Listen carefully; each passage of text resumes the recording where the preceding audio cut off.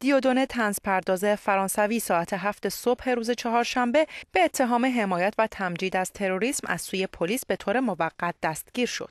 بر اساس گزارش ها او که به عنوان یک تنز پرداز ضد یهود شناخته می شود در صفحه فیسبوکش این جمله را نوشته که من شارلی کولیبالی هستم.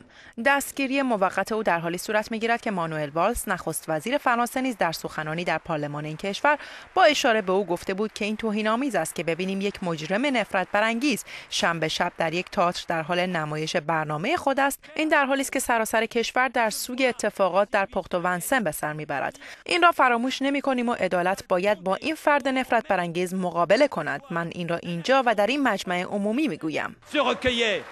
تا کنون بارها برنامه های این کمدین از سوی مقام های قضایی فرانسه متوقف شده از جمله اجرای یکی از برنامه هایش به نام دیوار که گفته می شود حاوی مجموعی از اشارات موهن علیه یهودیان است. در پی حملات اخیر تروریستی در شهر پاریس پلیس و نیروهای امنیتی فرانسه کنترل و نظارت بیشتری بر تبلیغات جهادگرایان در فضای اینترنتی اعمال کردند و قرار است با افرادی که در شبکه های اجتماعی از اقدامات تروریستی حمایت کنند برخورد شود.